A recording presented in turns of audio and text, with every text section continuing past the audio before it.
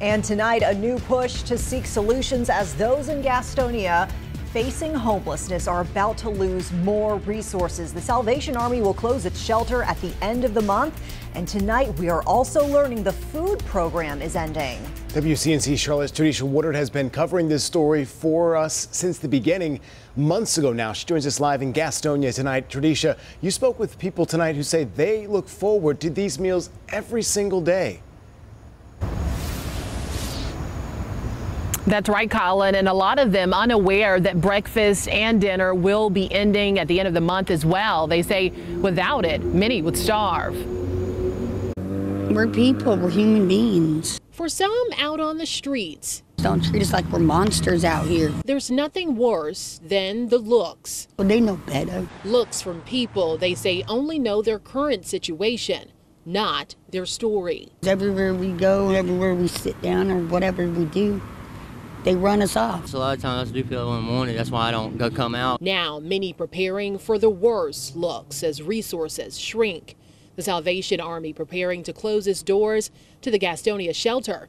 Also taking away the one thing people look forward to. School pizza and stuff like uh, chicken noodles. The hot meals. You can't panhandle, you can't do nothing. So what are we going to do? Let us starve? It's why Dwayne Burks, the director of Gateway Gaston, along with other local leaders and churches, are stepping in to help. It's a crying shame that this community can't sustain a shelter. We can have a place to serve them as they get pushed out because it's very clear there's an agenda there. He says there's currently an option for dinner and lunch, so they're focusing on ensuring folks have the most important meal of the day. A hot breakfast would be nice, but we understand if we can get them something that is good and nutritious get them through the get them through the lunch, get them through the day. Burke says he's hoping something as simple as a warm meal will ensure people they're not forgotten, hoping to inspire, only looking down to help them up. As long as nobody gives up on us.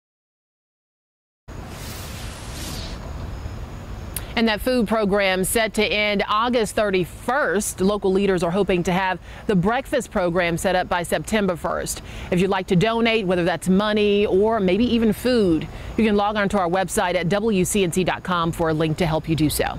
As for now, reporting live in Gastonia, Tradesha Woodard, WCNC Charlotte. Yeah, hopefully something new comes September then. Thank you, Tradesha, for following this story for us. Tonight,